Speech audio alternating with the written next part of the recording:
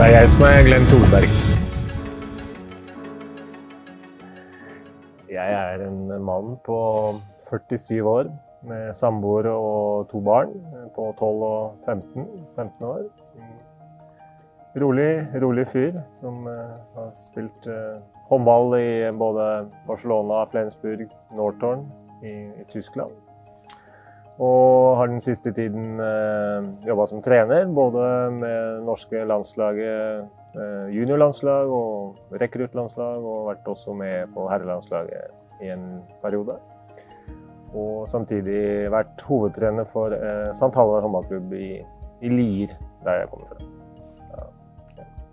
Og nå skal du bli forbundskaptein for Sverige? Ja, det skal jeg. Og fantastisk følelse og utrolig stolt og ydmyk for for den oppgaven der. Og jeg gleder meg veldig, veldig motivert og skal lede et uh, fantastisk landslag.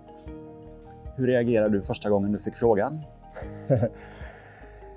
Nei, jeg ble veldig, veldig glad og også veldig stolt av å bare få lov til å være en uh, kandidat til den jobben. Det er en uh, stor jobb for et landslag som har gode tradisjoner og en veldig fin historie. Men samtidig så kjente jeg på at det var noe jeg var ekstremt motivert for. Og også tro på at jeg kan mestre på en god måte. Og det, det kjennes veldig godt. Hvorfor tror du at de har valgt eh, just deg? ja, nei, jeg tror det er flere ting. Jeg tror um, mitt lederskap uh,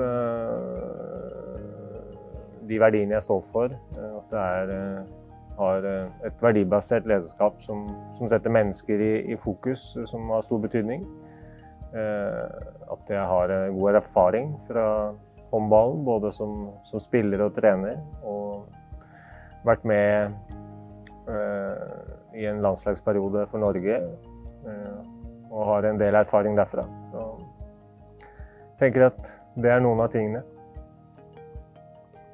Du har vært med på den, i början av den resan som Norge har gjort nu mot världstoppen. Vad, vilka erfarenheter tar du med deg fra det arbeidet? Ja, det er, er, nok flere ting, men eh, den, kanskje den aller eh, største og viktigste årsaken, sånn, sånn jeg ser det, så er det den tette, tette dialogen, tette oppfølgingen av enkeltspillere mellom samlinger som, som kanskje jeg eh, vil sette høyest. Mm. Og der kommer du få mulighet nå for Sverige å jobbe mye med spillerne även mellom landslagsperiodene? Ja, det er planen. Å være ute og treffe de og besøke de og, og få ut det beste i, i, hver enkelt. Eh, og gjøre de klare. Eh, eller hjelpe de så godt man kan, så man er best mulig forberedt når man kommer på samling. og skal spille mesterskap og kvaliker og kamper. Mm. Jeg har sett, uh, sett mye landslagshåndball og sett at uh, Sverige er, er, med i verdenstoppen og spiller uh, veldig veldig fin håndball. Så det har vært gøy å følge med. Med så mange gode spillere, så mye kompetanse, så, så er det klart at at målsettingen er hele tiden å være i, i verdenstoppen. Og så vet vi det at det er eh, veldig tett, veldig mange gode lag. Og det vil nok svinge fra mesterskap til mesterskap, men eh, helt klart et, et lag som eh, skal kjempe, kjempe, blant de beste. Hva er det som gjør Sverige bra? Det er flere ting. Det er først og fremst kanskje det kollektive som, som som jeg sitter igjen med. Eh, gode målvakter, et godt organisert, eh, hardtarbeidende forsvarsspill. Meget gode i kontringsfasen, hurtig håndball. Så fremover på banen så er det kollektivt, eh, hvor laget, laget står øverst. Og det, det, kan jeg identifisere meg med godt. Mm. Kommer vi få se store forskjeller, eller kommer du ta med deler av det som Christian har bygd opp?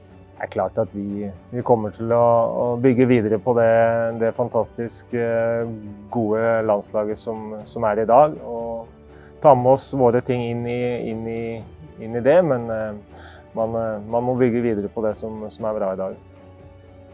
Vid din side så kommer du ha Martin Bokvist som fortsetter som assisterende forbundskaptein. Du har spelat mot honom tidigare. Du og han som spelare og hur er han som ledare? Nei, jeg kjenner Martin som en uh, veldig god menneske uh, med gode verdier, uh, gode holdninger og var en klok, klok spiller.